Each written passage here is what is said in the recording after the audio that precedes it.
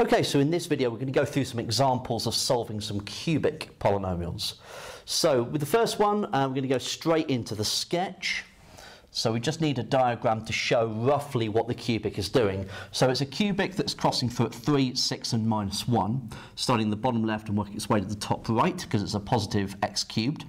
So we have minus 1, 3 and 6 and we're asking where is the cubic graph above the x-axis. So it's above it there and there. Okay, so the solution is that x is greater than minus 1 but less than 3, or x is greater than 6. And if you needed to, uh, with any of these, you might be asked to write them in either set notation or interval notation. Okay, so that's our first one. Right, number two. Um, so we've got 3x minus 5, 4 minus x times x is squared equal to 0. So let's go straight in with the diagram. So this is going to be a negative x cubed because when I multiply this out I get a minus x cubed. Okay, so this is starting in the top left and working its way down to the bottom right. Now this is going to be going through at 5 thirds, 4 and 0. So 0, 5 thirds and 4. Okay, and then where is the graph above or equal to 0? So it's above it there and there. So x will be less than or equal to 0. Or x will be greater than or equal to 5 thirds, but less than or equal to 4. Okay, and so that is the region that we need to find. Or the regions we need to find, rather. Right, number three. So number three, we've got 2 minus 5x, x plus 8, x plus 1. So the first thing to notice is that we're going to have a minus x cubed again. So top left to bottom right. So this one, we've got the 2 take away 5x, so that's 2 fifths, minus 8, minus 1, so minus 8, minus 1, 2 fifths in order. Where is the graph below the x-axis? Well, it's below it there and there. So x is greater than minus 8 but less than minus 1, or x is greater than 2 fifths. Okay, two regions, two inequalities.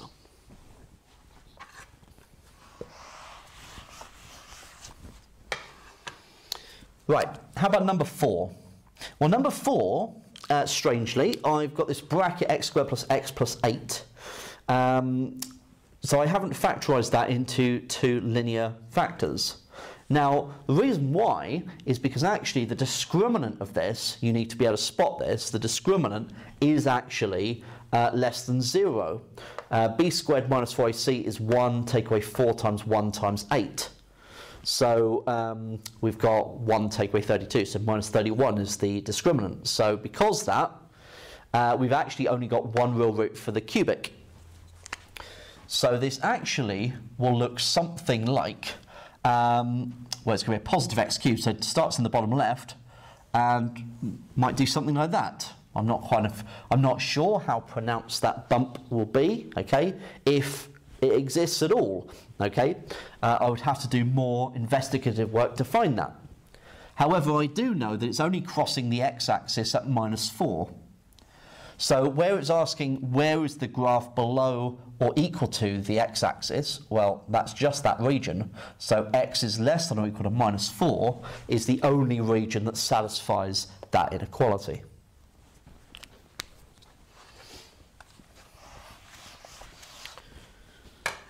Now, number 5. Number 5 isn't factorised, okay? So what I could do is I can go straight in and use my cubic solver to solve the cubic. So we've got 5 minus 28 and minus 12. So we're going to have a positive cubic that's crossing through at 6, minus 2 fifths, and 0. So minus 2 fifths, 0, and 6. Okay? So then where is the, uh, the cubic above the x-axis? Well, it's above it there and there. So x is greater than minus 2 fifths but less than 0, or x is greater than 6. Now, of course, within that form, I could have used my cubic polynomial sol uh, sorry, my cubic inequality solver on the calculator. So menu, and then you need to go to B. Um, so polynomial degree is 3, and we want it greater than 0, so that's option 1. 5 minus 28 minus 12, and then 0, and we get precisely what I've written there. Okay? Right, so that's number five. So finally, number six. So this one doesn't have everything on one side. Uh, I need to expand the brackets first and rearrange things, okay? So the first thing that I'm going to do is I'm going to rearrange this. So I've got 278x plus 45 is less than or equal to, expand this out, 253x squared take away 42 x cubed. I'm going to move everything onto the left-hand side. So 42x cubed uh, take away 253x squared plus 278x plus 45 is less than or equal to 0. So this is going to be a positive cubic. So I'm going to pop this into my cubic solver rather than my cubic inequality solver. So 42 minus 253, 278 and 45. So I get 9 halves, 5 thirds and minus 1 seventh. So I know that this one is minus 1 seventh. Now what were the others? So we had 9 halves, so 4.5 and 5 thirds. So 5 thirds comes next and 9 halves. Okay, so where is the cubic below or equal to 0? Well, that's there and there.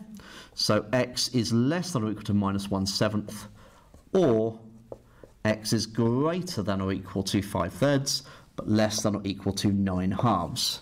And of course, we would definitely want to double check that uh, using the uh, cubic inequality solver.